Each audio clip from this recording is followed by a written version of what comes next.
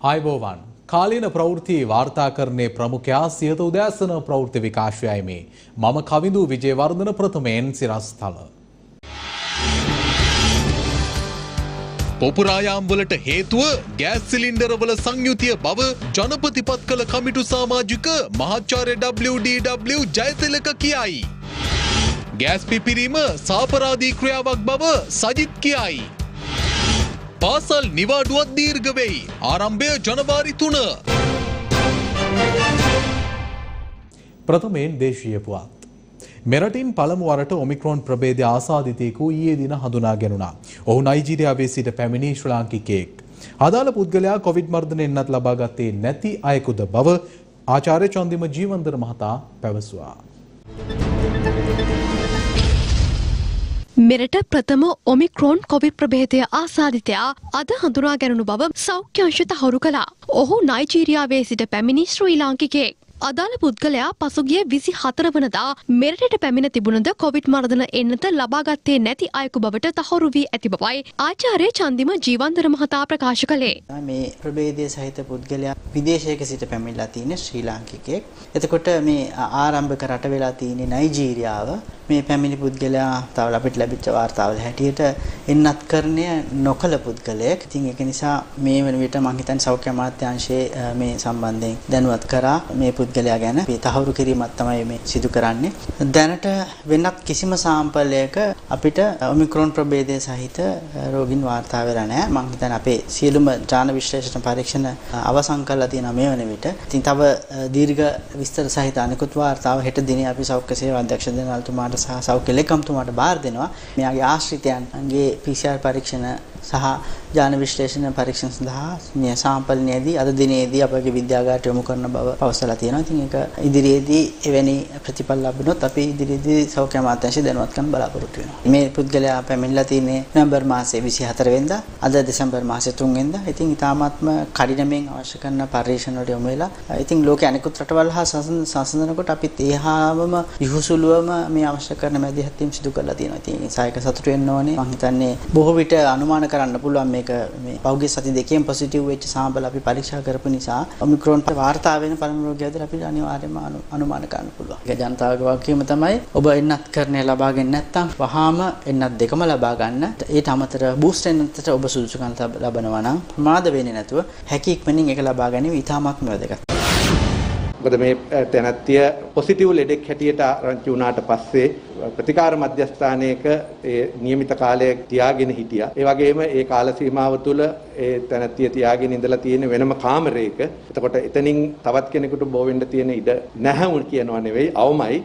කෙසේ නමුත් ඒ තැනැත්තිය එතකොට ඒ මේ අතරතුර ආශ්‍රය කරපු ගමන් බිමන් ගිය මේවා අනුව සමහර විට අපි දන්නේ නැහැ කොයි ආකාරයකටද වෙලා තියෙන කියලා. ඒ පිළිබඳව කරන පරීක්ෂණ තාම කරගෙන යනවා. ඒවාගේ තොරතුරු අනුව එතනිනුත් කළ හැකි පාලන කටයුතු කරනවා. නමුත් අපි මතක තබා ගත යුතු දෙයක් තමයි මේ ආකාරයෙන්ම තවත් පිටරටින් පැමිණිච්ච පුද්ගලයා මේ රෝගය රැගෙනීමට ඉඩ තියෙනවා. ඒ අපේ රටට ආපු බව අපිට වැඩපිළිවෙලක් තියෙනවා. ඒ වැඩපිළිවෙලට අනුව හොයනකොට හම්බ වෙනවා මිසක් අපි කාටවත් කියන්නේ දිව්‍යඥානයක්. එහෙම ඥානයක් නැහැ. අපිට මේ විද්‍යානුකූලව කරන පරීක්ෂණ ක්‍රම හරහා පමණයි අපිට දැනගන්න පුළුවන් වෙන්නේ. ඒක ඒ අනුව තමයි ඒ කරන්න පුළුවන් ක්‍රමයකින් හැකි ඉක්මනින් මේ රෝගියාව හොයාගෙන තියෙනවා. මොකද මේ රෝගියා පොසිටිව් ලෙඩෙක් වුණා. අපි දැනගෙන හිටියා එයා බටහිර අප්‍රිකානු රටකින් ඇවිල්ලා තියෙනවා. තියෙනවා කියලා. තහනම් කරපු රටවලින් නෙමෙයි ඇවිල්ලා තියෙන්නේ. එසේ වුණත් අපි ඒක පරීක්ෂණයකට භාජනය කරා. ඒකේ ප්‍රතිඵලයක් හැටියට අපිට මෙයාව හොයාගන්න පුළුවන්.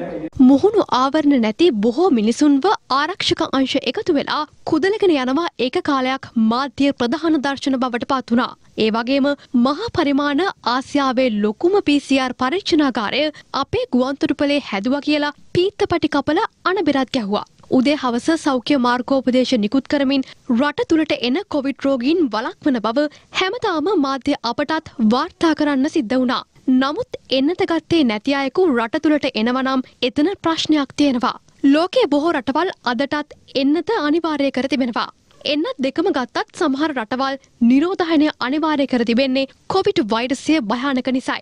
දැන් ඔමික්‍රෝන් ඇවිත් අවසන්. ඔමික්‍රෝන් භයානකද නැද්ද කියන එක වෙනම ප්‍රශ්නයක්. නමුත් රට තුළට හිතුමතේ කෙනෙකුට එන්න පුළුවන් නම් ඒ ගැන අපේ රටේ බලධහරින් කී වතාවක් හිතන්න ඕනෙද කියන එක ප්‍රශ්න කළ යුතුව තිබෙනවා. දැන් මේ රටට ආපු ඔමික්‍රෝන් ප්‍රභේදය ගත්තහම ඉතා පැහැදිලිව මේක හොයාගෙන තියෙන්නේ නයිජීරියාවේ ඉඳන් ආපු 25 හැවිරිදි කාන්තාවකගෙන් ඇය මාරවිල ප්‍රදේශයේ කාන්තාවක් සති දෙකක පමණ කාලයකට නයිජීරියාවකට පිටත්ව ගොස් තමයි ඇවිල්ලා තියෙන්නේ. සෞඛ්‍ය අමාත්‍යාංශයේ අද වෙනකන්වත් මේ අලුත් ප්‍රභේදය රටට ආවහම කෙසේද කටයුතු කරන්න ඕනේ කියන එක පිළිබඳව ගයිඩ්ලයින් එකක් ගහලා නැහැ. ඒ ගයිඩ්ලයින් එක ගහන්න නැත්තේ හොරකමට. අපේ රට ඇතුළට එන අයගේ අඩුම ගානේ වැක්සින් දෙක ගහලා එන්නේ නැති අයගේ පරීක්ෂණය කරන විදිය පිළිබඳව හරි මාර්ගෝපදේශයක් නැහැ. ඒ නිසා වැක්සින් දෙක නොගහපු අයත් රට ඇතුළට එනවා කියලා අපිට වාර්තාව තියෙනවා. අපි ළඟ සමහර සාක්ෂි තියෙනවා. ඒ අයගේ මොන මොන ප්‍රභේද එනවද කියන එක අපි දන්නේ නැහැ. ඊළඟට වැක්සින් ගහලා එන අයගෙත් ඔමික්‍රෝන් තියෙන්න පුළුවන් කියන එක තමයි පර්යේෂණාත්මක තොරතුරු ප්‍රතිඵල.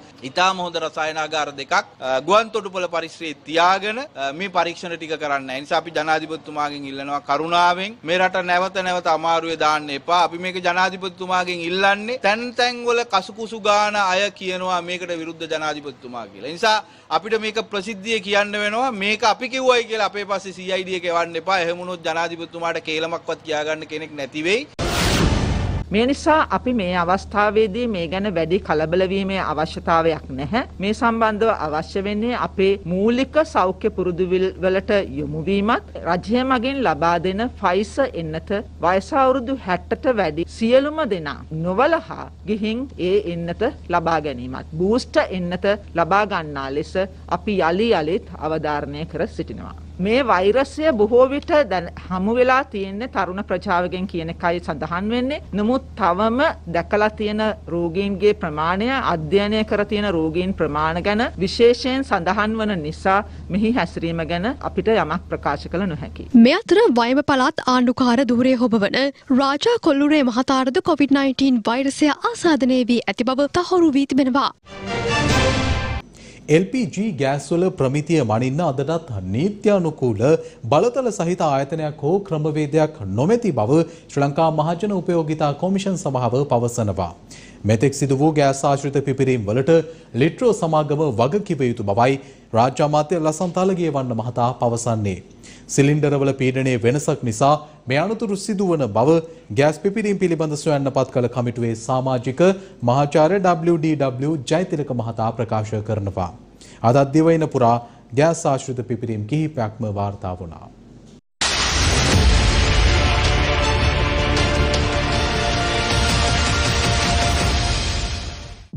ගෑස් ආශ්‍රිත පිපරීම් වාර්තාවන්නට පටන්ගත් දිනේ සිටම අප මාධ්‍යායතනයක් ලෙස සෑම විටම තර්කානුකුල මතයක් ප්‍රකාශ කලා. ඒ ලිට්‍රෝ සමාගම පාරිභෝගිකින්ව මීට පෙර රවටා ඇති බවයි. එසේම ගෑස් ආශ්‍රිත පිපරීම් බොහොමයක් ගෑස් උඳුන බටේ සහ රෙගියලේට්‍රේ මත තියන්නට ලිට්‍රෝ සමාගම උත්සාහ කලා. එදී අප ප්‍රශ්න කළේ හදිස්සියම මේ උපකරන සෑම කෙනෙකුම අලුතින් මිලදීගත් අද කියලයි. පිපරීම්වලට අදාළ උපකරන හේතු වෙනවා නම් වහම ඒවා ගෙන් වූ පුද්ගලින්වද අත්තඩංගුවට ගතයුතු බව අප නිරන්තරයෙන්ම අවධහරණය කළා. රටපුරාම පිපිරීම් එකසිේ විස්සකට ආසන්න සංඛ්‍යාවක් සිදුවනා. මෙසා විශාල පිපිරීම් සංඛ්‍යාවක් වාර්තාාවන විට එය අසාමාන්‍යයි කියලා පුංචි දරුවෙකුට පවා තේරෙනවා. මේ පිපිරීම්වල ආරම්භේදී සමහර වගකීමක් නැති දේශපාලනක්මින් පැවසුවේ දිනකට ගෑස් සිලින්ඩර එකක් දෙකක් පුපුරාය හැකි බවයි. එකැන මාසයකට සිලින් සිලින්ඩර හැටක් විතර පුපුරන්න ඕනේ. නමුත් රාජ්‍යමාත්‍ය ලසන්ත අලගේ වන්න මහතා ලිට්‍රෝ සමාගම වෙනුවෙන් පෙනී සිටිය නැහැ. ඔහු පාර්ලිමේන්තුවේදී අවස්ථා කීපයකදින් පැවසුවේ මේ සමාගම පාරිභෝගිකින්ව රවටා ඇති බවයි.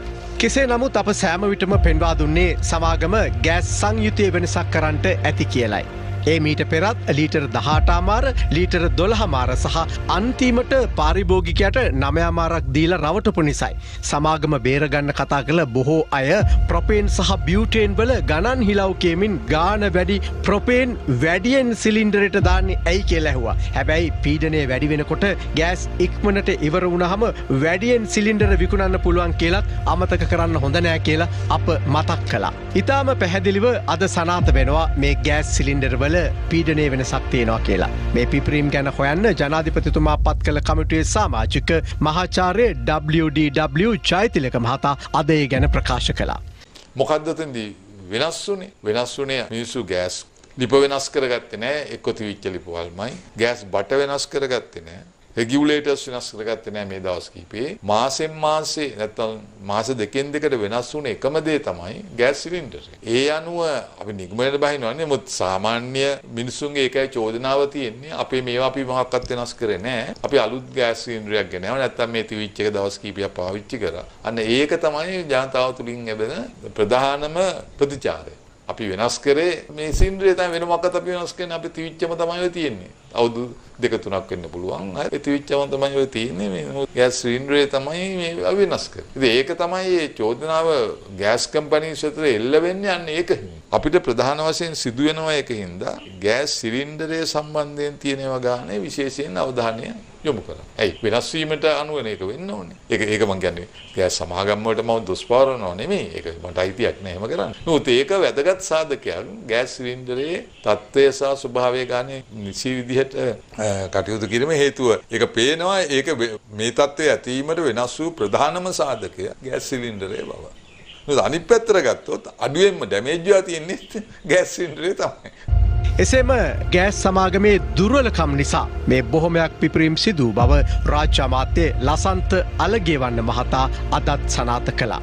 ප්‍රමිති ආයතනය විසින් අපි ලබාදීපු නියැදි දෙහෙක විශේෂම ලිත්‍රෝ සමාගමෙත් ලාබ් සමාගමෙත් එතිල් මර්කැප්ටන් කියන ඒ රසායන ද්‍රව්‍ය අපේ රටේ ප්‍රමිතිය අනුව තිබිය යුතු වන්නේ දාහතරක අගයක් නමුත් ඒ පරීක්ෂා කරන ලද සාම්පල් දෙකේම තිබෙන්නේ පහක තරම් ප්‍රමාණයක අගයක් තිබෙන්නේ.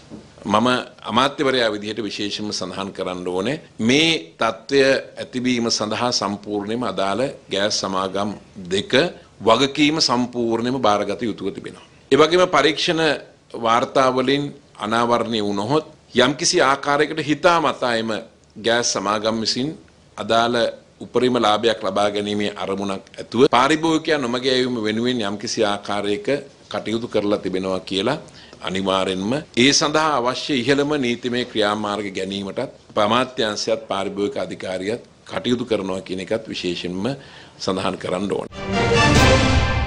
රජය සහ රජයේ අනුමත පෞද්ගලික පාසල් සඳහා ලබා දෙන නිවාඩුව දිහිර්ග කර තිබෙනවා. ඒ අනුව දෙසැම්බර් මස 23 වනදා සිට ලබන වසරේ ජනවාරි මස 3 වනදා දක්වා පාසල්වලට නිවාඩු ලබා දෙන බවයි අධ්‍යාපන අමාත්‍යාංශය නිවේදනය කරන්නේ. රජය සහ රජයේ අනුමත පෞද්ගලික පාසල් සඳහා නිවාඩු ලබාදීම දෙසැම්බර් මස විසි තුන්වනදා සිදුකිරීමට නියමිත බව අධ්‍යාපන අමාත්‍යංශය පවසනවා. නැවත පාසල් ආරම්භ වන්නේ දෙදහස් විසි දෙක ජනවාරි මස තුන්වනදා පවයි අධ්‍යාපන අමාත්‍යංශය නිවේදනය කළේ. මීට පෙර පාසල් නිවාඩු සමය ලෙස ප්‍රකාශයට පත්වී තිබුණේ දෙදහස් විසි එක දෙසැම්බර් මස විසි තුන්වනදා සිට දෙදහස් විසි එක දෙසැම්බර් මස විසි හත් වනදා දක්වායි. රට පුරා නව දේශපාලන වැඩපිළිවෙලක් ආරම්භ කරන්න ශ්‍රී ලංකා නිදහස් පක්ෂය සූදානම් වනවා. ලබන දසවනදා සිට නව සැලැස්ම ක්‍රියාත්මක කරන බවයි හිටපු ජනාධිපති මෛත්‍රීපාල සිරිසේන මහතා පැවසුවේ. ශ්‍රී ලංකා නිදහස් පක්ෂයේ මධ්‍යම කාරක සභාව රැස් වුණා. ඒ ශ්‍රී ලංකා නිදහස් පක්ෂයේ සභාපති හිටපු ජනාධිපති මෛත්‍රීපාල සිරිසේන මහතාගේ ප්‍රධානත්වයෙන්.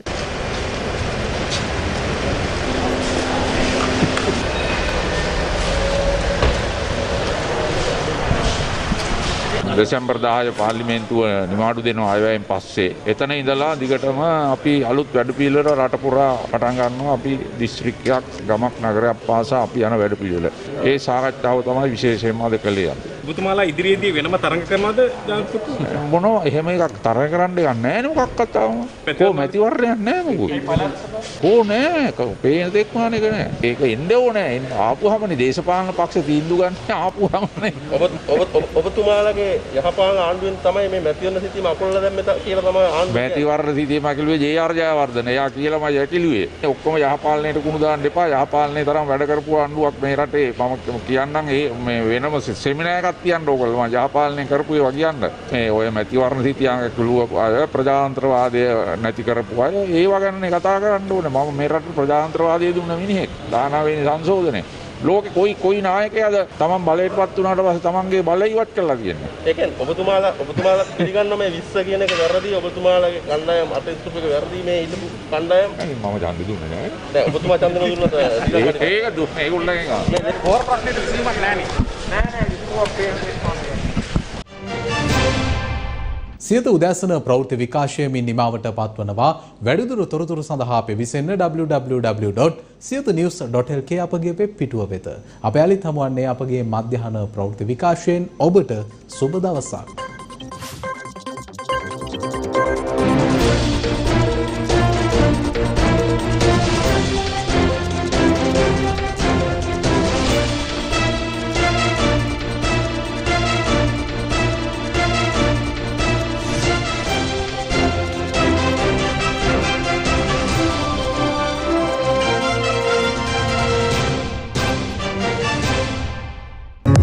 දිනපතා අලුත් වීඩියෝ සහ ප්‍රවෘත්ති නැරඹීමට ඉහත බටන එක කලික් කර සියත TV සබස්ක්‍රයිබ් කරන්න.